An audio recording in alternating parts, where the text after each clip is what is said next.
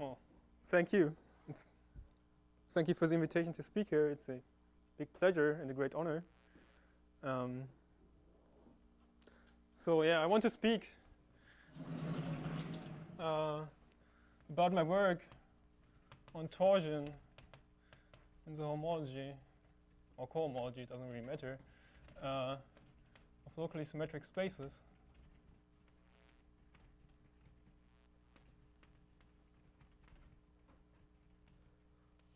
And in fact, I think the two first two lectures will just, I will just spend them on explaining what the statement of this result is.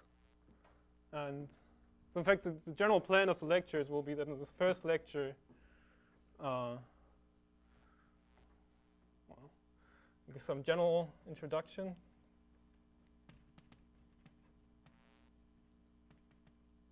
And in the second lecture, I will really explain the statement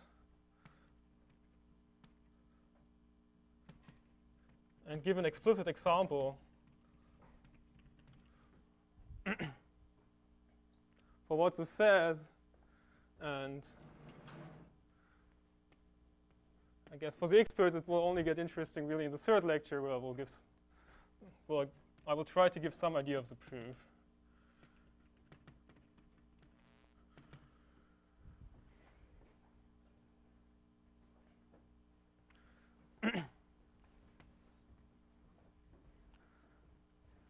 Okay, so let me start by recalling some very basic Galois theory.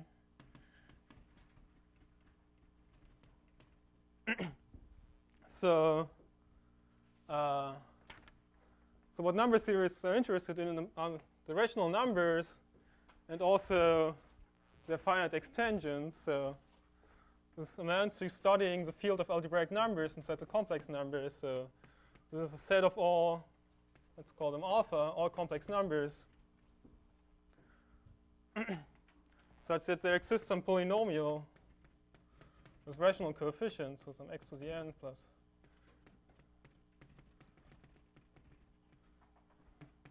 all coefficients are rational numbers such that alpha is the root of this polynomial.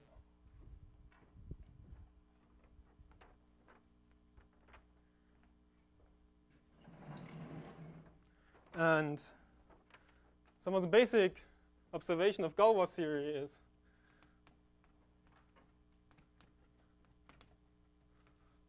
that if you think purely in terms of algebraic equations, then there is no way, there's no algebraic way of distinguishing a positive square root of 2, say, from a negative square root of 2.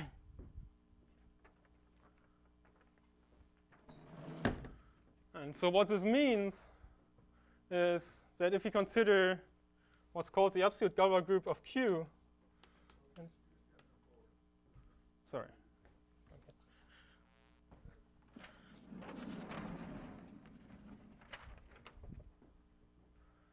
This means that if we consider what's called the absolute Galois group of Q, which is just the automorphisms of this field Q bar, so meaning those bijections with res which respect the addition and the multiplication structure, um, there are quite a few of them. So, and Galois showed how one can uh, somehow match the study of the finite extensions of the algebraic numbers with the study of this big group. And so let me give a few comments about this group. So whenever I have an algebraic number, I can look at the orbit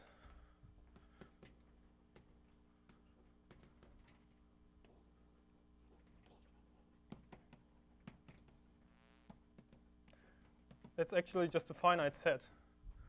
So why is this? So we know that if it's algebraic, then there exists some p such that p of alpha is 0.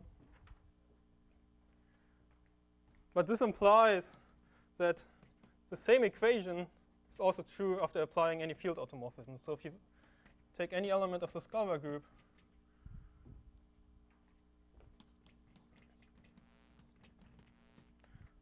and apply it to alpha, then this polynomial will still vanish on this conjugate. And so this means as p has only finitely many roots, at most n, the orbit has to be finite.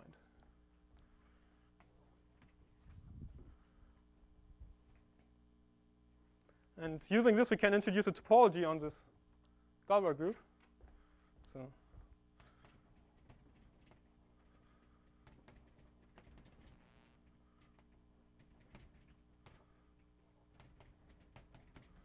So that's the weakest topology such that for all algebraic numbers, the map that sends gamma to gamma times alpha is a continuous map.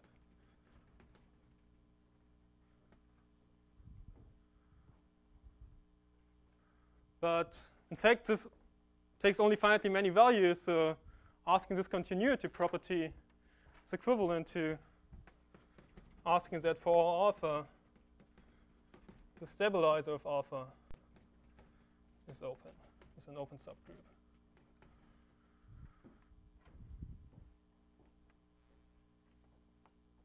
So this makes this guy a topological group, and as just a topological space, it's the Cantor set.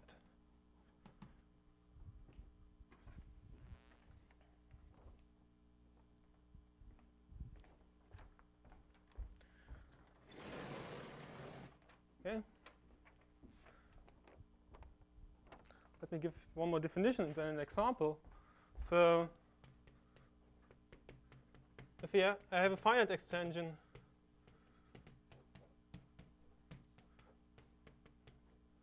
of the rational numbers, finite just meaning it's finite dimensional as a Q vector space.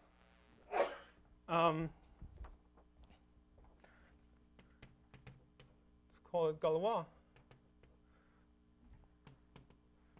If it is stable under the action of the Galois group.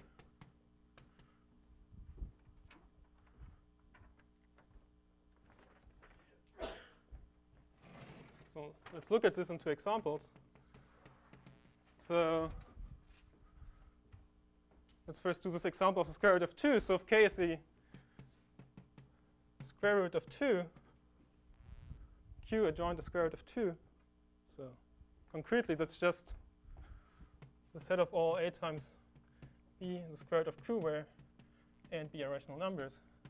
Then if I let the absolute Galois group act on the square root of 2, then the orbit will be all possible roots of 2 inside the complex numbers. So that's the square root of 2 and minus the square root of 2, both of which are contained in K. and so this means that if I let this group act on K,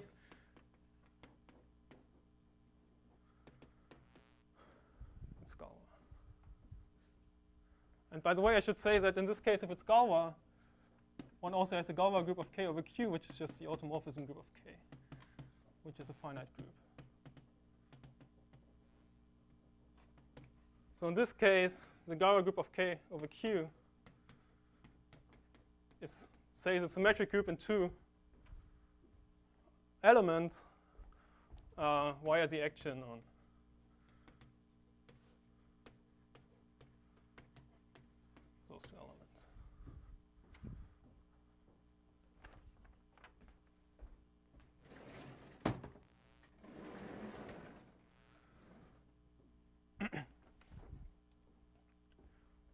So the second example is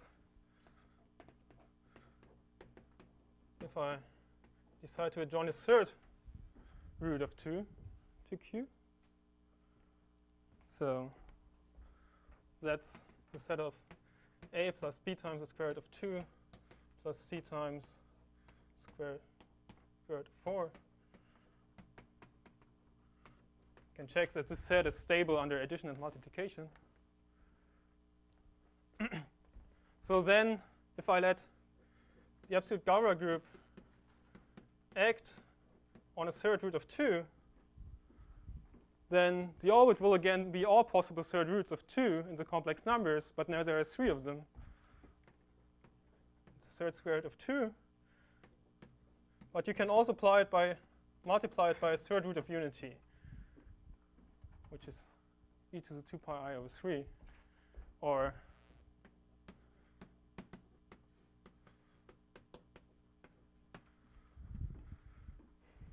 by this, uh, the picture would be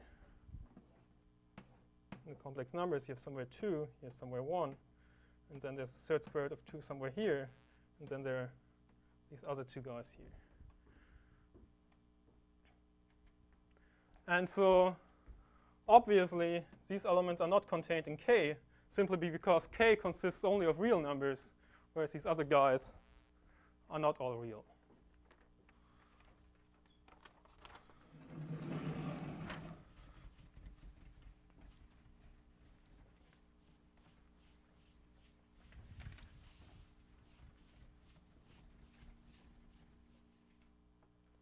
But you can improve this. So, third example. So, if you take this extension and also add a third root of unity, so now this has a chance of being Galois because now these other roots are also in there. And in fact, you can easily check that this is now really Galois. And Now its Galois group is isomorphic to the symmetric group in three elements. Again, via the action on the three element set consisting of these three third roots of 2.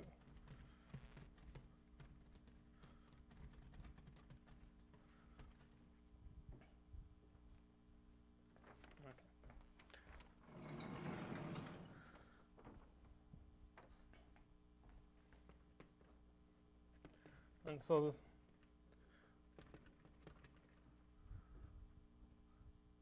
what Galois theory tells you is that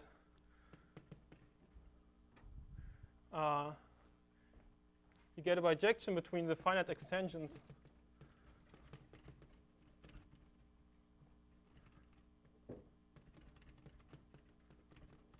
Contained in Q bar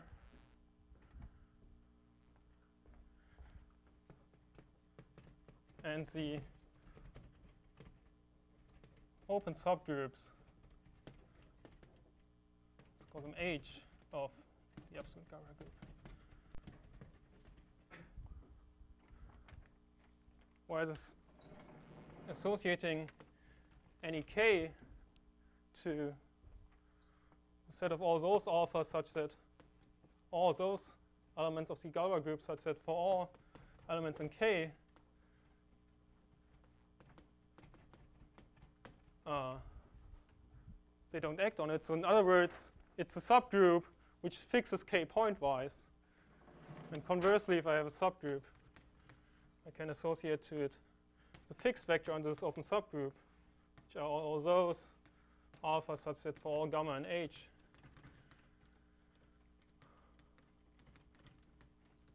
it preserves. So in other words, This absolute Galois group is somehow a way of encoding all the possible finite extensions of the rational numbers.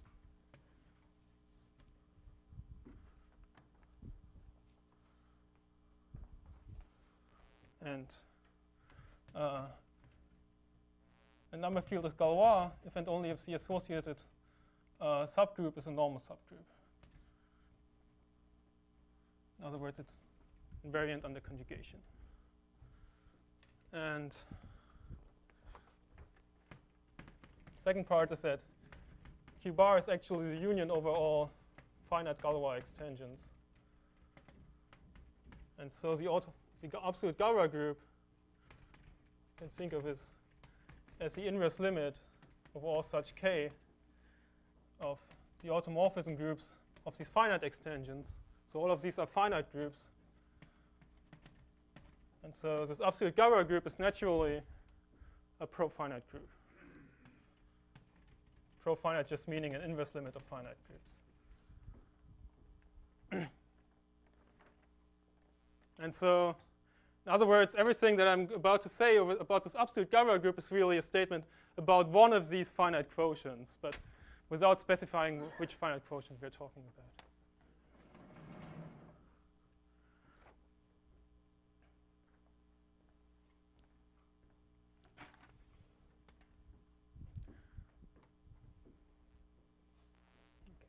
So, and so if you're trying to understand this profinite group, so it's an inverse limit of finite groups, and one way to understand it is to underst by understanding the maps to finite groups of Lie type, say. So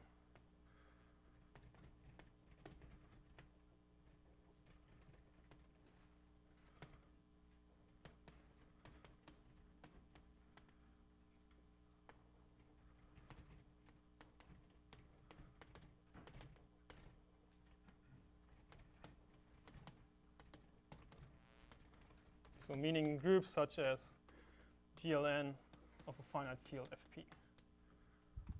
Because after all, almost all the finite simple groups, they are finite groups of Lie type.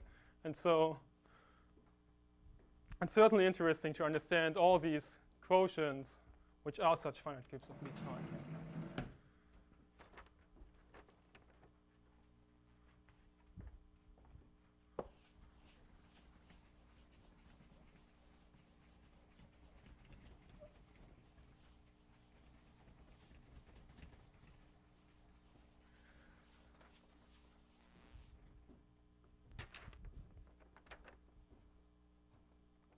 So, these will play some more central role in these lectures. So, um, so for this reason, I will give them a name. So, a finite Galois representation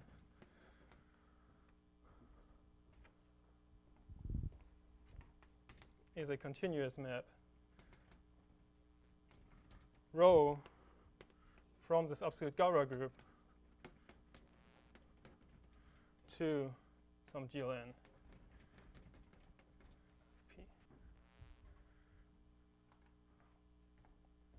And in fact, I might also allow bigger finite extensions of FP, but that's a minor point.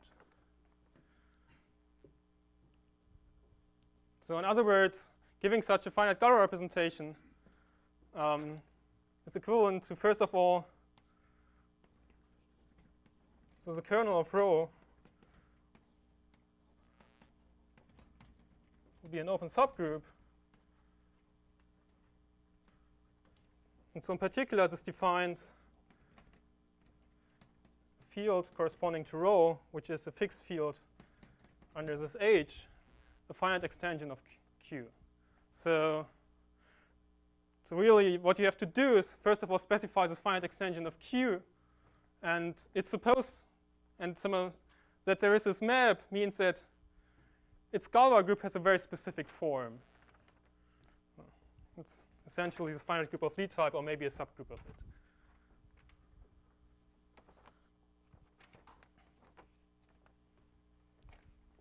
And so what I'm talking about in the series of lectures is the following diagram. So in the center, we have these finite Galois representations.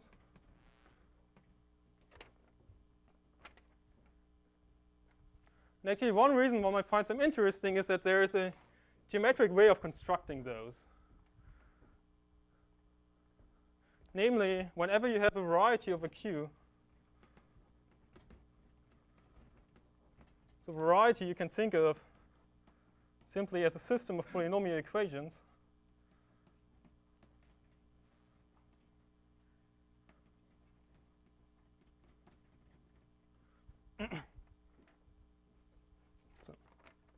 Just some geometric object which is cut out by polynomial equations with rational coefficients. And by some black box called étale cohomology, which I will explain later in an example, one can go from there and produce some finite Galois representations, which remember a surprising lot of information about this geometric structure you have here.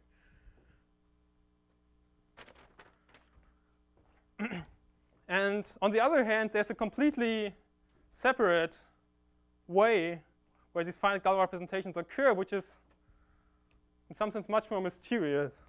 So, namely, that's some of the topic of these lectures, in the torsion homology of locally symmetric spaces. So for some rather mysterious reason, A, this also gives rise to finite Galois representations. And in fact, there's a conjecture that called Serre's conjecture that actually everything comes from the torsion homology of uh, locally symmetric spaces.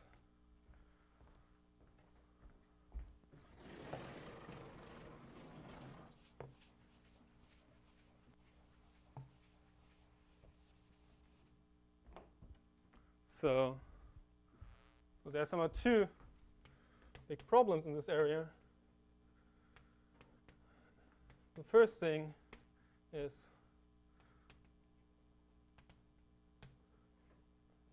this torsion homology actually gives rise to Galois representations, finite Galois representations.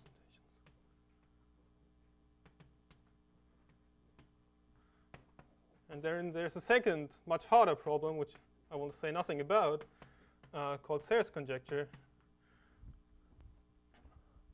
which is that with a very small caveat, so only almost, but it's really a very small thing, uh,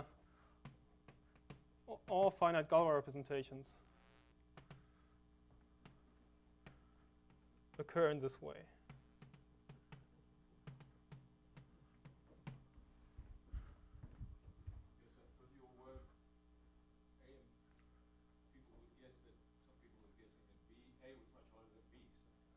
Aha, okay, so I mean A is now a theorem and B is far from a theorem. So and in any case, somehow in the classical case of GL2 where Q, A was very easy and B was very hard. so.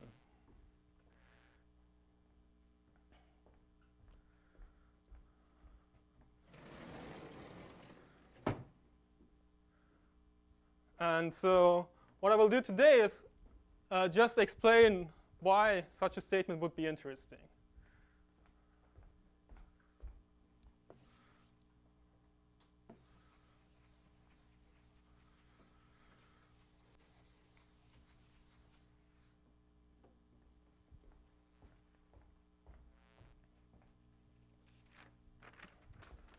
I mean, I can say that uh, these lectures about A.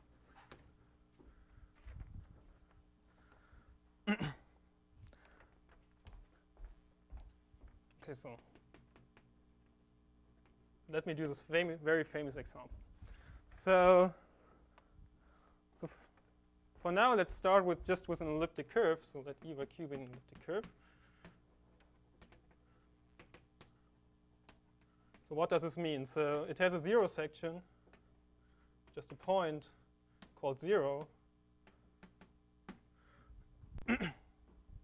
and the complement of 0 uh, can be written as this set of solutions to the following equations, just a cubic equation, two variables, which can be brought into uh, the standard form, so where a and b are just any rational numbers satisfying that the discriminant, which is probably 4a cubed plus 27b squared, is non-zero.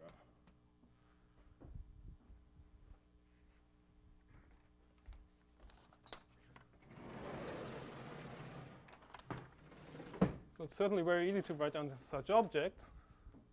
And they're of immense interest to number theorists.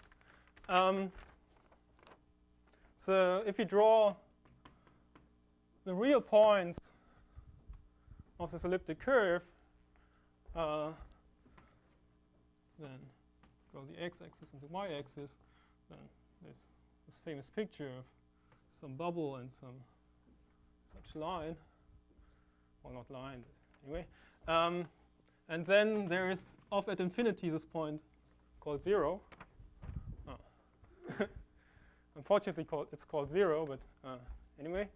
Um, and so it turns out that E of k is naturally in a Abelian group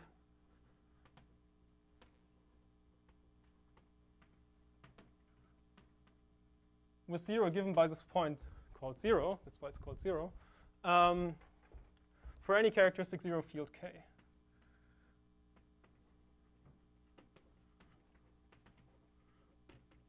And so in this picture, you can see the group structure in the following way. So if you have a line which intersects this cubic in three points, p, q, and r, then what you demand is that p plus q plus r is equal to 0.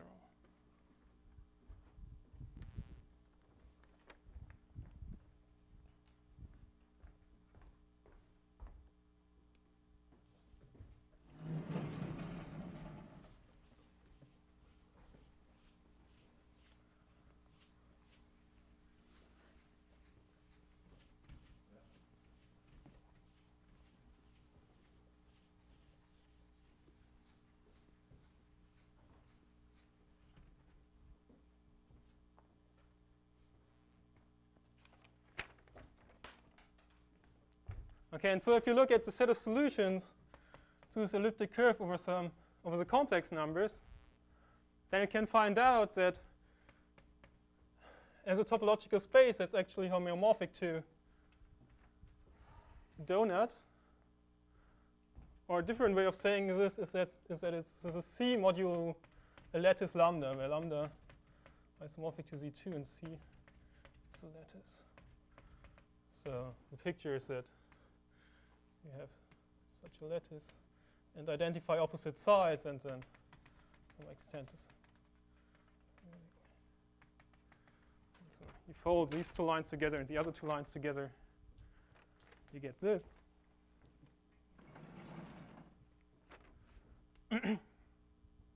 and so this implies the following. So for any field E, uh, k, let k of n, let ek brackets n denotes the kernel of multiplication by n.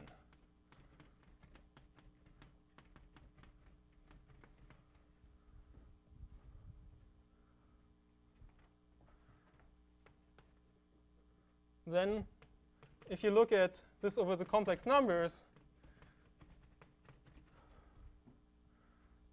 then you see that, say, if n is 3, then the three torsion points are these dotted points here. Or another way of saying is that there's the points in 1 over, over n times lambda modulo lambda. So just abstractly, this is as an abelian group, it's z mod nz squared. But uh, these n square points are solutions to an algebraic equation.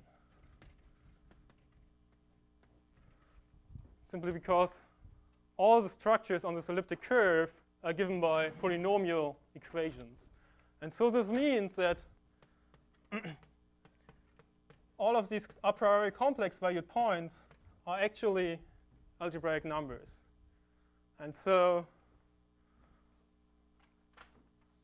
the n torsion of this elliptic curve over q bar as in the abelian group is just c mod nz squared. And so the absolute Galois group naturally acts on these n torsion points because acts on the algebraic numbers. And so say if you take n equal to p a prime, then what this gives you, something we might call rho EP,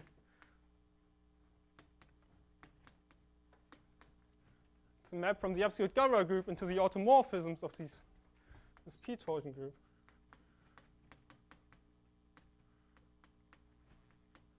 Which is just uh, GL2.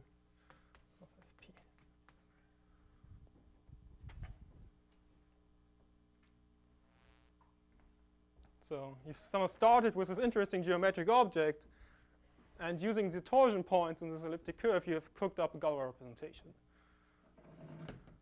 And that's actually a special case of this very ma general machinery called Étale cohomology.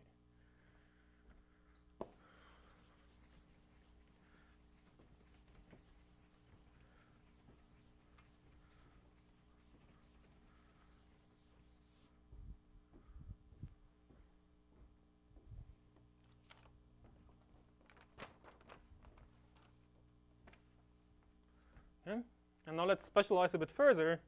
And so let p be a prime at least 5. And let's look at a solution to the equation a to the b plus b to the p plus c to the p equals 0, where a, b, c are non-zero and integers. of course, we want to show that there are no such solutions. So uh,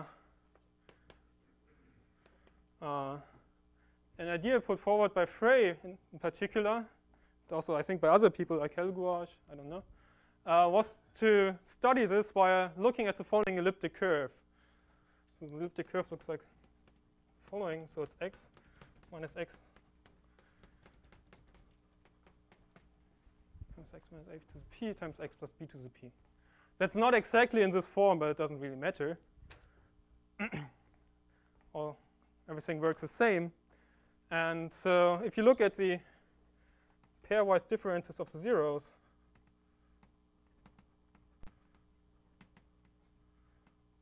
then of course if you take look at the difference here, it's a to the p. If you look at the difference between those two, it's b to the p. But now if you look at the difference between those two, it's the sum of a to the b and b to the p. And by our assumption, that's again a piece power. Um, so this implies that the discriminant is actually a piece power, which is somehow key to the following arguments.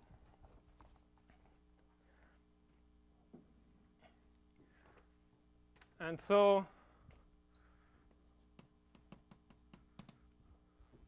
now what we do is we look at the p torsion for this very same prime p that we used up here, uh, which is now a map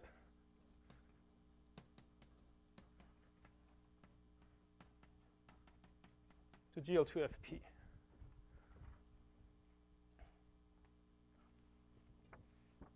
And it has some very good properties. Namely, it's,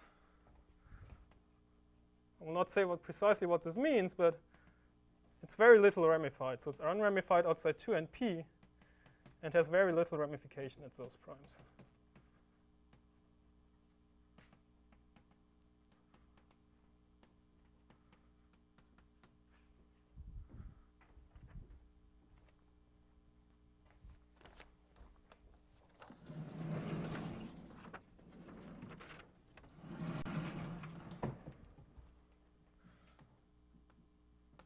Then Serre conjectured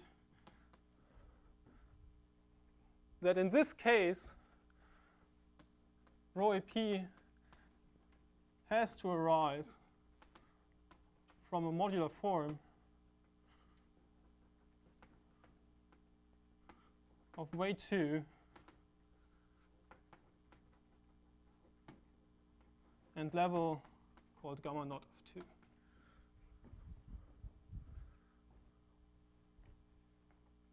I will say later maybe what precisely this means, but it's somehow an instance of this conjecture that anything, any finite Galois representation should arise from the torsion homology of locally symmetric spaces. And we can pre say precisely where it should appear. Um, but here the observation is simply that there are no such modular forms.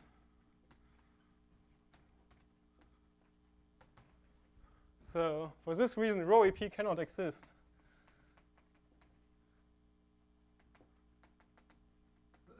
Which implies Fermat's last theorem.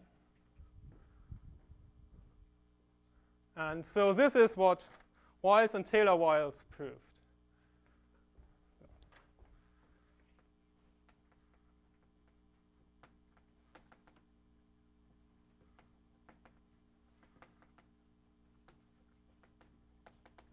And actually, you also see, use the theorem of Ribet, which tells you that actually you can find it exactly there.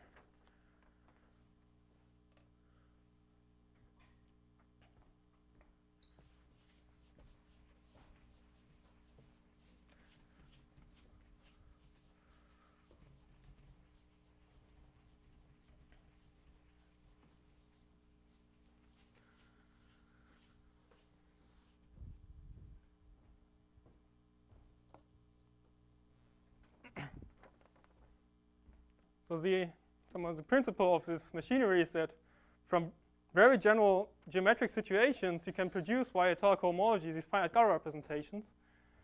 And from the geometry, you also know where they should appear in the torsion homology. And then you can just do a computation whether there is anything there.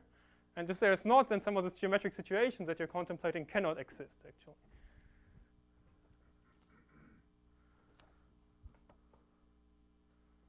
And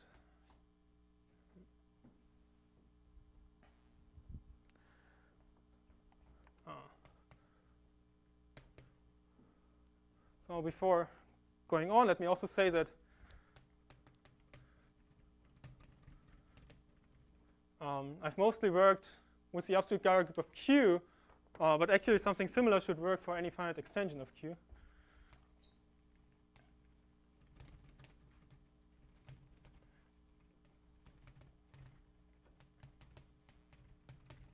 Let me draw again the diagram. So now in the middle you have the absolute Galois group of K, which is just those field homomorphisms of Q bar which fix K pointwise going to some GLN. And then by étale cohomology, you can now build such guys for any variety whose defining coefficients are in this field K. And again, there should be this connection with the torsion homology.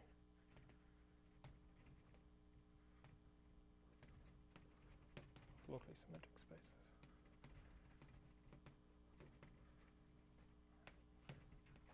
For the group GLN over this field K.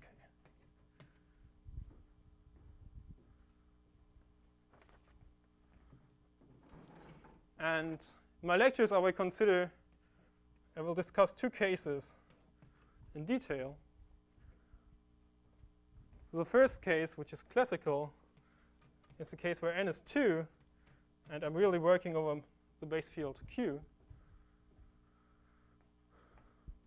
which is somehow where this example fits in. And this, in the second case, n is still equal to 2, but uh, I enlarge my field and I take Q adjoins the imaginary unit.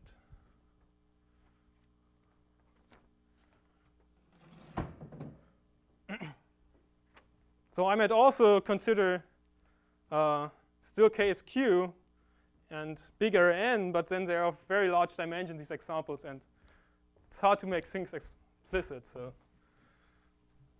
I'd rather stick to this different example.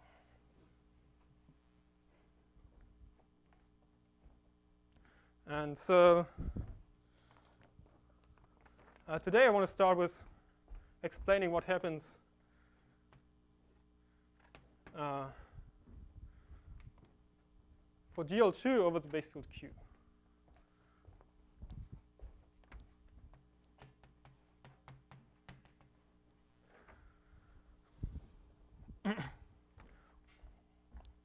so that's the business called modular curves.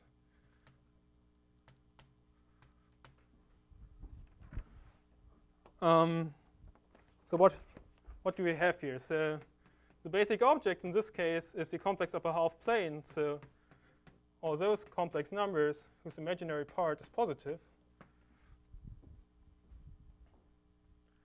And if I write tau as x plus iy, uh, then this carries a natural uh, hyperbolic metric by this formula. And so you can also regard this as two-dimensional hyperbolic space.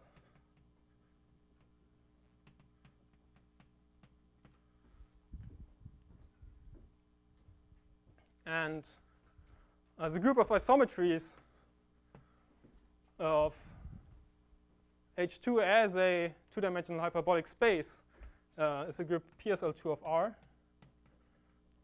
And so if you have a matrix ABCD in there, then it acts by sending tau to this fractional linear transformation A tau plus B over C tau plus D.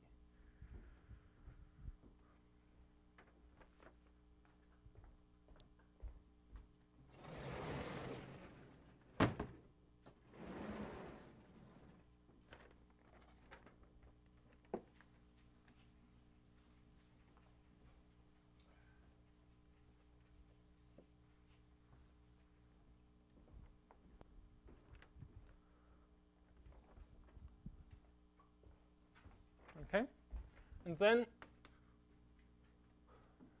what I do to get arithmetic into the picture is that I take a congruence subgroup of SL2 of the integers. So this means that gamma contains a subgroup of those matrices which are the identity modulo some large number n. So in other words, it's a subgroup given by congruence conditions on the entries. and then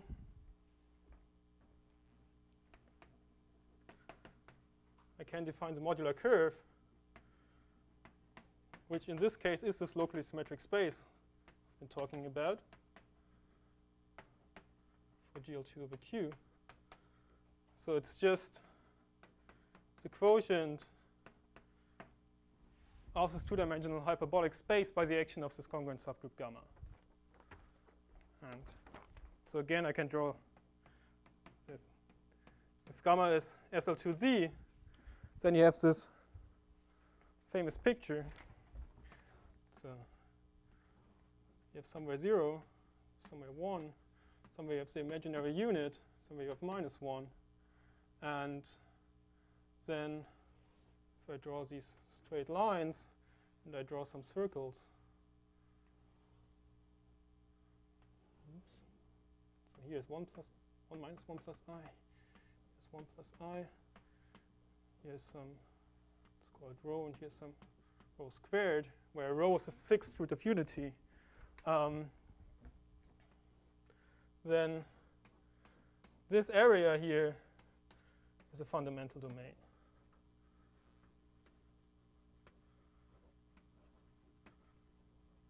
Which thus essentially represents uh, this quotient. And you see that there's something strange going on at these points i and rho. So i and rho are orbifold points. Meaning that uh, there's a finite subgroup of gamma which stabilizes these points.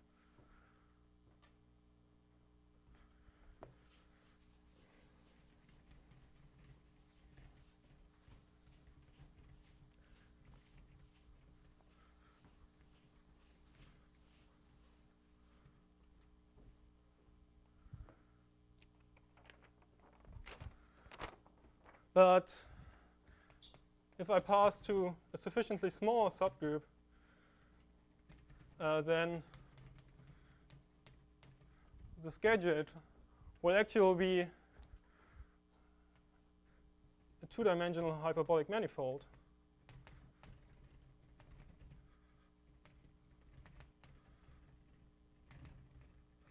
So it has a canonical complex structure.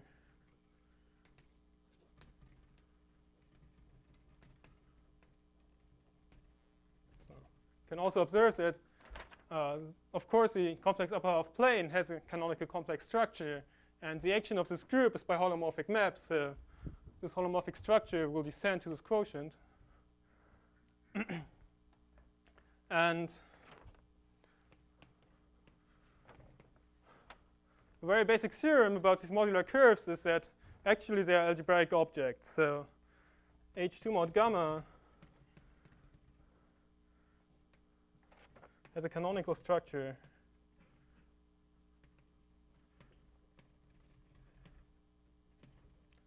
as an algebraic variety or even curve. So if you take a one-dimensional gadget and take its complex points, it's two-dimensional as a real object uh, over C. So it's a set of solutions to some system of polynomial equations. And in fact, at least if gamma contains a subgroup gamma 1 of n, which are those gamma which are congruent to star star 0 1 mod n, which is not a real loss of generality, uh, uh, then it's these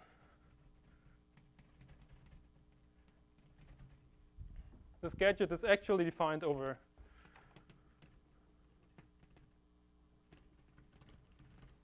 Q. So it's actually a it's the set of solutions to a system of polynomial equations with rational coefficients. So it's um, a priori it's just some kind of real manifold, but then it gets more and more structure and eventually it's some very number theoretic object. And so it's a very old theorem. I'm not sure who exactly proved this, but uh, it relies on the interpretation of the space as a moduli space for elliptic curves.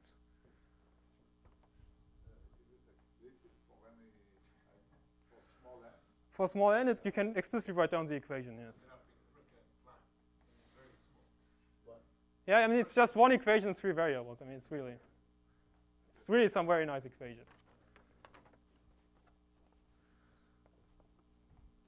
And so if I go to larger level, so if I not contain such a subgroup, then it's still defined over a finite extension, finite explicit extension of the rational numbers.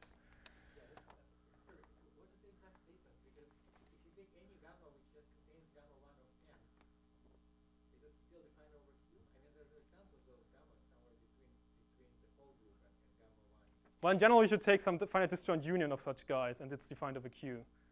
So you should really adopt the adelic viewpoint in which you take a finite disjoint union of such guys. So, so the, the, statement as written is not right.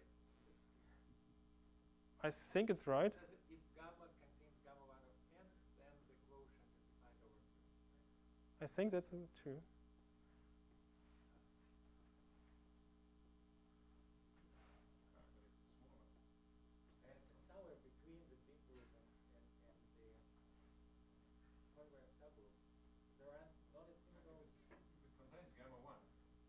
Yeah.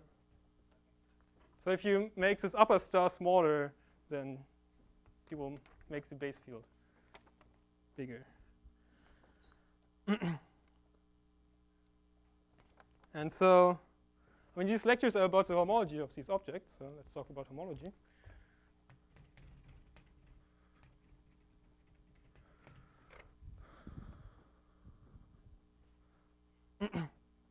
so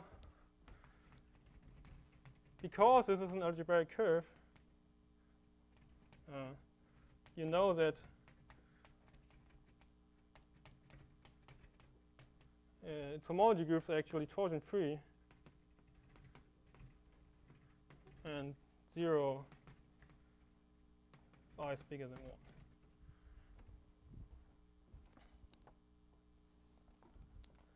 1. Um, and so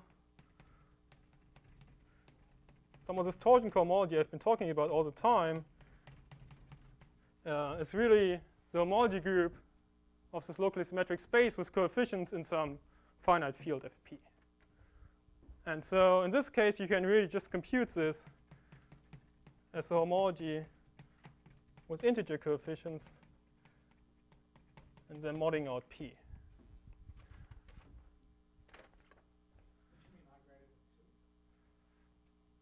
Well, it's not compact. So. I mean, there are some points at infinity missing.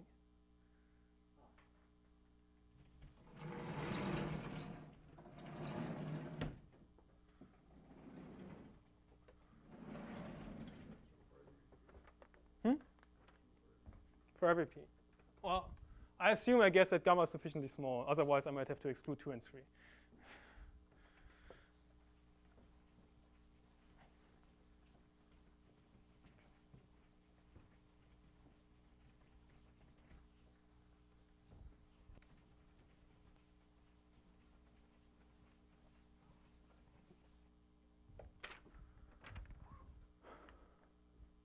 Okay, so in this case, the mod homology is really just a reduction of the integral homology.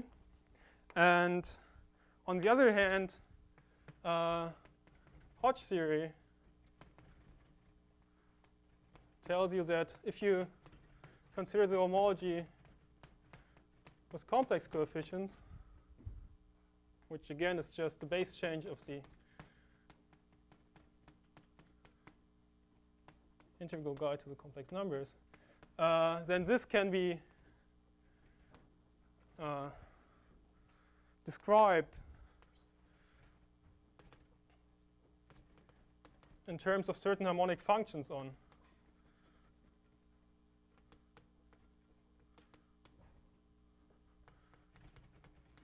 on this guy. And so in this case, it's really just uh, weight two modular forms.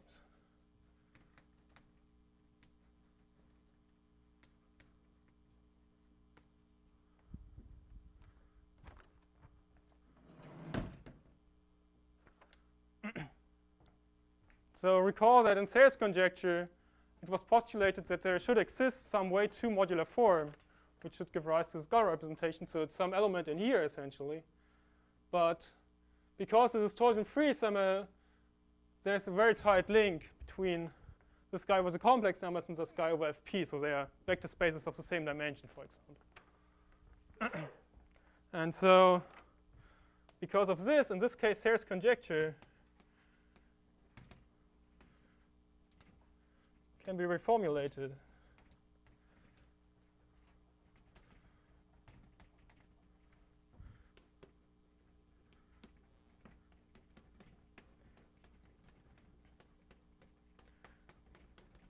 Terms of this torsion homology. And this actually turns out to be the point of view that generalizes well to other groups, so to bigger n, for example. Um, so, so how do you formulate Serre's conjecture here? So the remark is that because this guy is such an algebraic variety over Q, so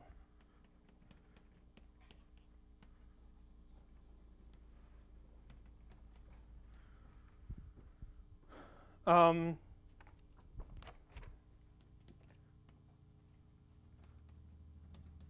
again, by this black box called étale cohomology, there is a natural Galois action on this homology group.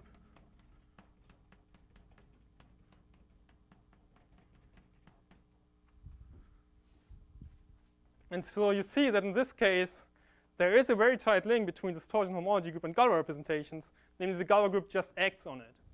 So it's somehow obvious that any torsion you might have here will give rise to Galois representations.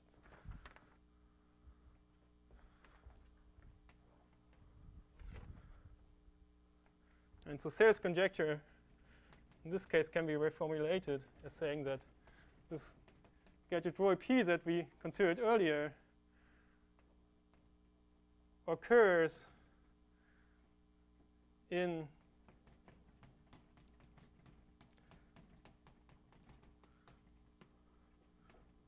as a Galois covariant subquotient.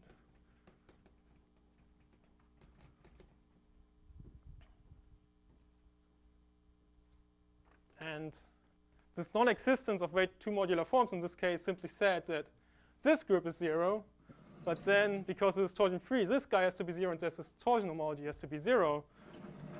So there can nothing can appear there.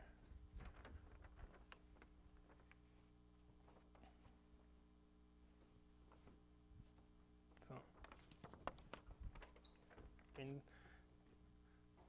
this very action here, this provides the link between uh, torsion homology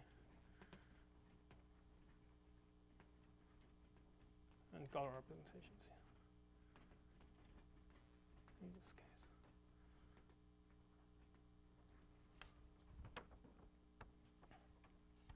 And so I guess time's up. So next time I will explain what happens in the second case I want to talk about, so where n is 2, but now this field is an imaginary quadratic field. And so in that case, this two-dimensional hyperbolic space will become some three-dimensional hyperbolic space, and things will turn out to be very different.